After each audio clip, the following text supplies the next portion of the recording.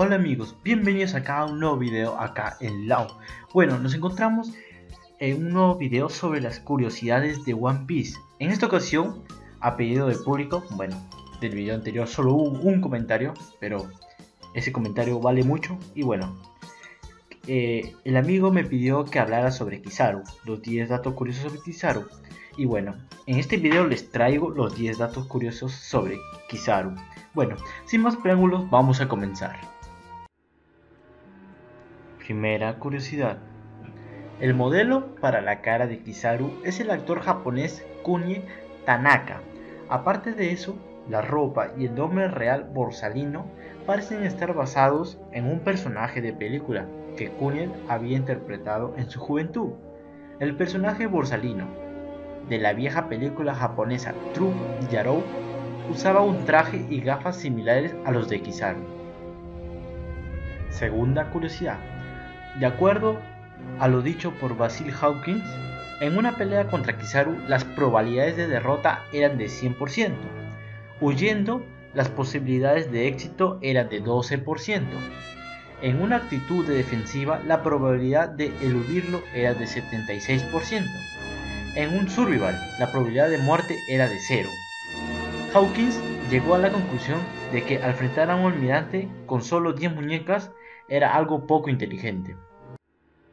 Tercera curiosidad.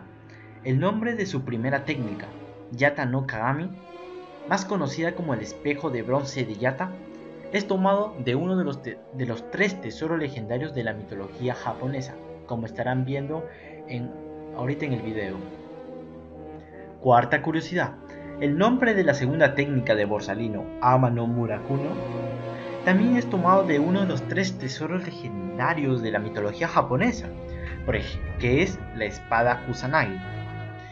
Lo podemos ver cuando Kizaru se va a enfrentar a la mano derecha de, de Goldie Roger y saca una espada de luz. Y a, ese, a esa espada le autodomina Amano Murakuno, que hace referencia a la espada Kusanagi. Quinta curiosidad.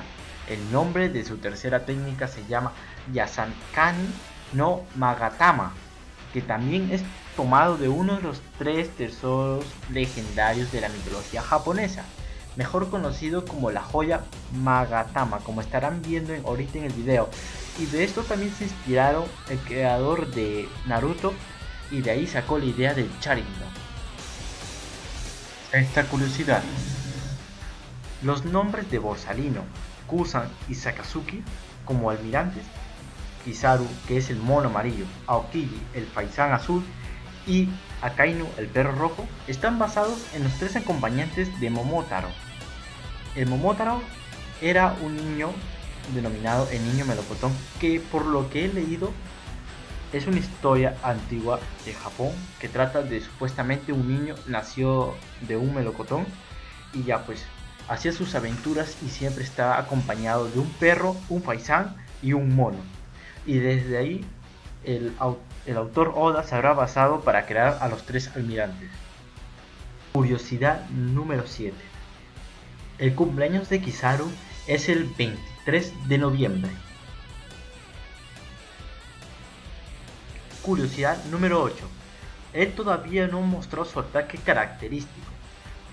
En ese caso, en este caso, sería un mono en forma de luz, en cambio, Aokiji ya mostró un ataque que haga similitud al perro rojo, que es eh, denominado a su apelativo, al igual que Kizaru hizo una especie de ave de hielo.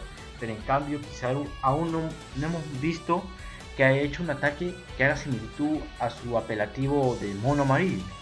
Pero sin embargo, en uno de los juegos de One Piece, que se llama Gigant Battle, su ataque final es el mono en forma de luz, a lo que le llama Ama no Iwato. Novena curiosidad. Es también el único almirante que no ha sido visto nunca sin su capa de la marina, ni siquiera en los flashbacks que muestran su pasado. La única excepción sería el dibujo que hizo Oda representándole cuando era un niño, aunque obviamente en ese entonces aún no se enrolaba en la marina. curiosidad número 10. Su nombre puede provenir de la marca de ropa Borsalino, ya que de joven llevaba un sombrero de la misma marca. Bueno, he encontrado otra curiosidad que podría ser interesante, y por eso va a ser la Yapa. la curiosidad número 11. El poder logia de Kizaru se insinuó por primera vez cuando una bala pasó a través de su cabeza sin hacerle daño, de una manera similar a lo que fue con Enel, durante el intento de Kamakiri de golpear a un dios con su lanza en la cabeza. Tanto la fruta Goro Goro y la fruta Pika Pika dan al usuario una velocidad extremadamente alta, además de la intangibilidad. Bueno amigos, esto fue todo por hoy. Espero les haya gustado mucho el video. No se olviden darle like y suscribirse si quisieran más videos así. Y si llegamos a los 25 likes, seguiré con las curiosidades. Y así también me dejan en la caja de los comentarios de qué personaje, mayormente de One Piece, Naruto o Dragon Ball, le gustaría sus curiosidades. Bueno, me despido, saludos, cuídense.